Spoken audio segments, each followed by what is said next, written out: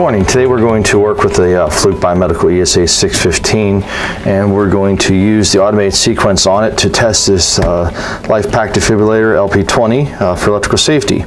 Uh, so first thing we're going to do is we're going to go ahead and power on the ESA 615. It's going to do a self-check and now it's complete. It's going to bring up what the last test is. Across this top line here, we'll see what all the ports correspond to. So these are saying these for ECG testing and these two are for paddle testing at the end. Um, and the test that's currently selected in there is an IEC 62353 direct for a uh, defibrillator with five patient connections. Uh, so we're going to want to change a few things here. And the reason we want to change it is if we are to use all these blocks across the top, our defibrillator is a, our defibrillator has the snap adapters. So we're going to standard snap adapter from our kit. And if we put this across here, like such, to hook in the ECG snaps, You'll notice on the end, there's two more ECG snaps. And the problem with that is to use the hands-free adapter for the defibrillator.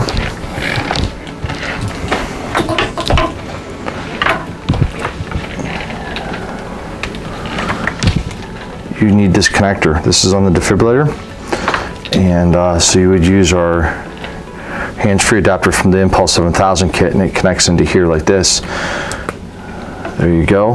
But when you go to the end, you can't put them in because these are bananas and you've filled them up with uh, snaps. So what we're going to do is we're going to get into the test sequence and, and alter that. So let's just go ahead and remove this for now and remove the ECG leads. And what I'm going to do is pan back a little bit. What I'm going to do is I'm going to use a standard off-the-shelf USB keyboard and I'm going to connect this into the side of the ESA 615. The reason I want to do that is because now instead of having to use the keys on on the uh, ESA 615 to trigger, I can now use the keys on the keyboard. So that said, let's go back to our test library, F3.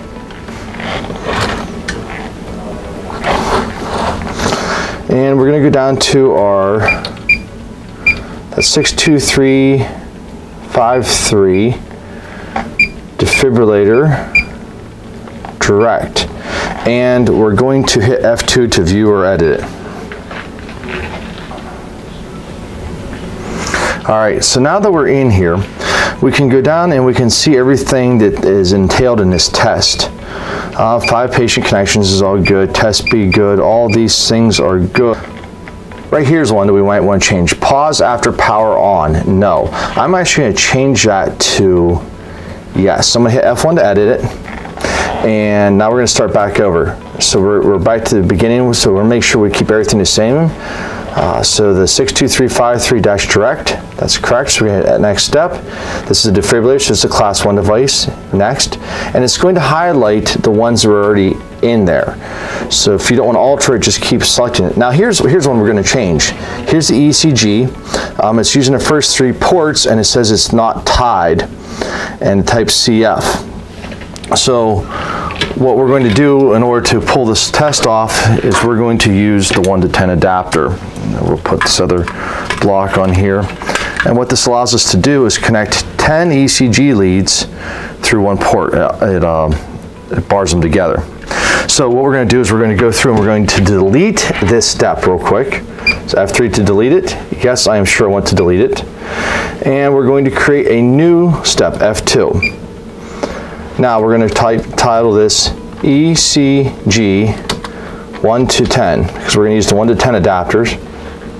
We're going to patient connections 1 because we only need one now because we're only using the one port. Okay? And we're going to make them tied. That indicates that all those leads are tied together. And the type is BF.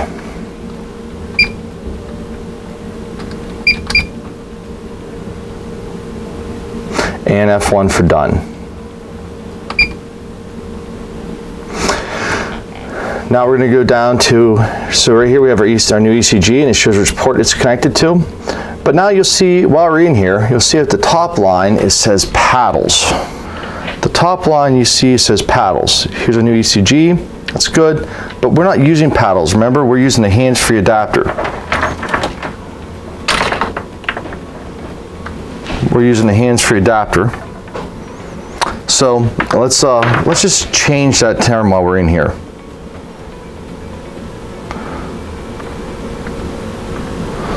So we're going to hit delete.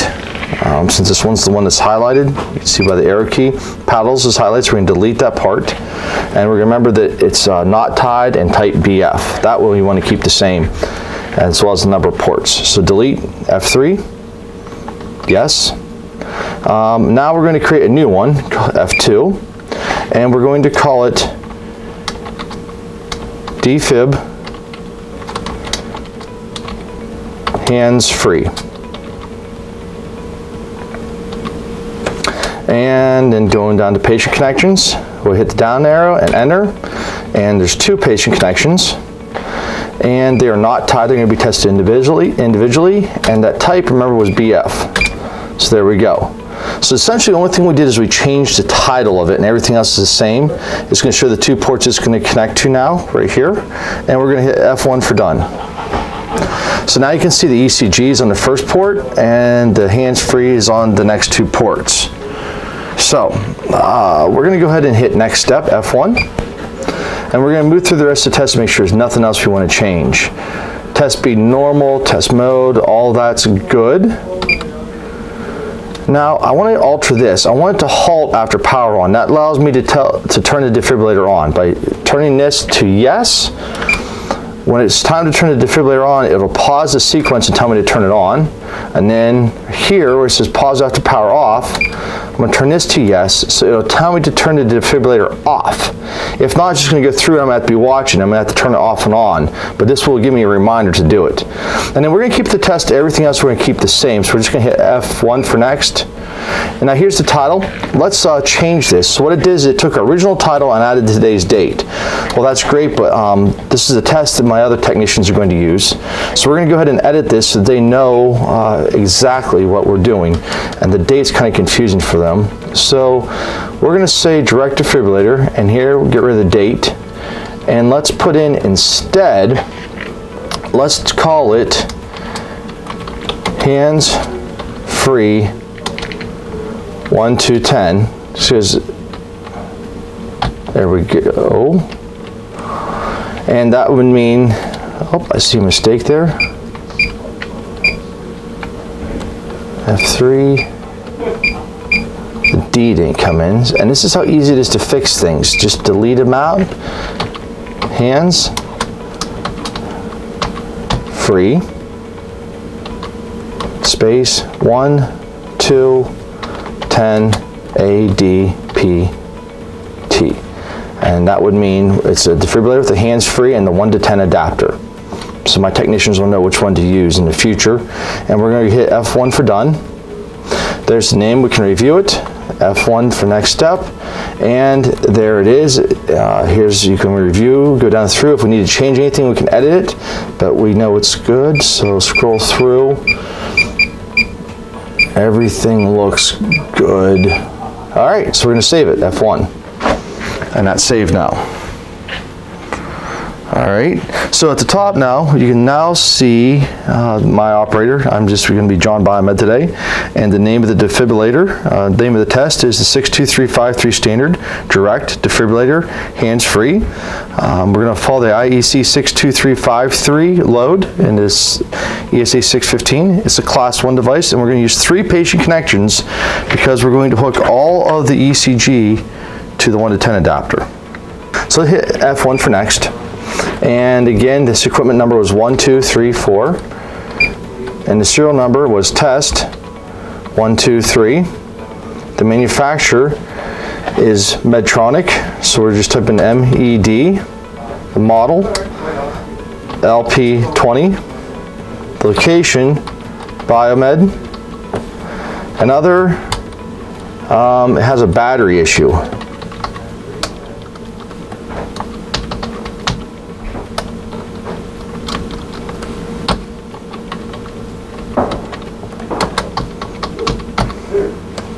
And now let's start F1 for starting. I don't know the last time this was used. Um, I don't know if this cable's been changed. We recommend we zero it every 30 days. So let's go ahead and we're going to zero the cable by pushing F1.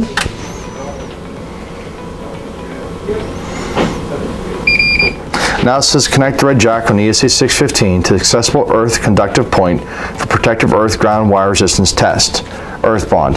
So at this point we're going to go ahead and hook up our defibrillator.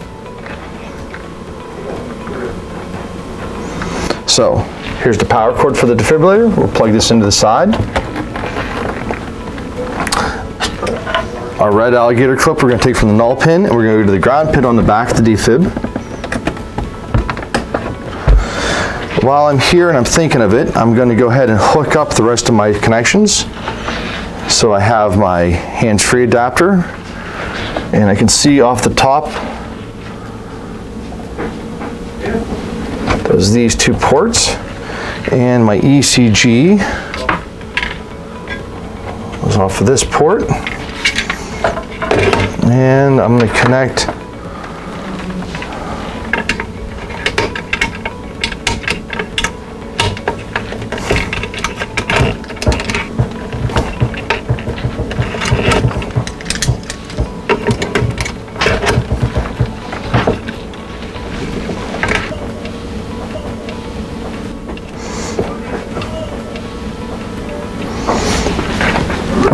ECG on our 1 to 10 adapter. Press F1 for test.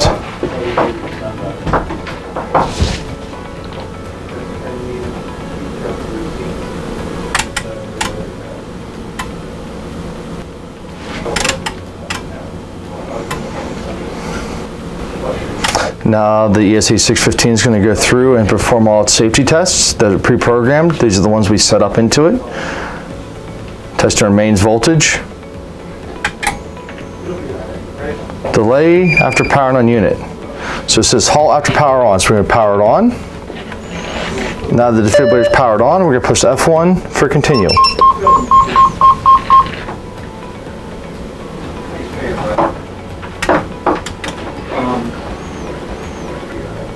Now we're testing the ECG leakage.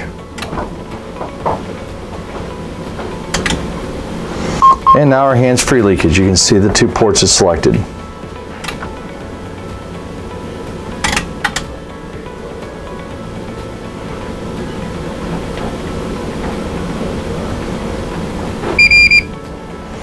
Halt after power off, so we're going to power off the defibrillator and continue.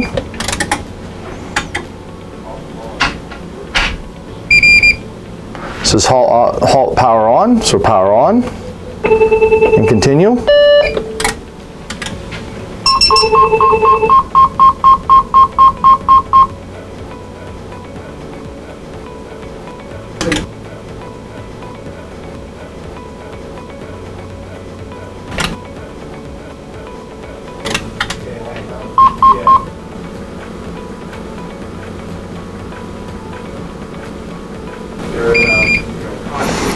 Halt after power off.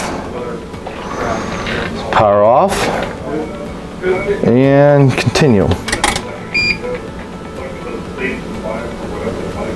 And now you can see that our test has been completed. So we're going to push F1 for next. And here's the name of our test. You see the one, two, three, four. That's the equipment number, the date, and the time. So we're going to go ahead and hit F1 to save it. And it's saved into our test record. So when we go back to our biomed shop, we can pull that information back off. That is how to check the test records in the ESA 615, modify them, save them for the next technician, and go ahead and perform them and save the data. Thank you.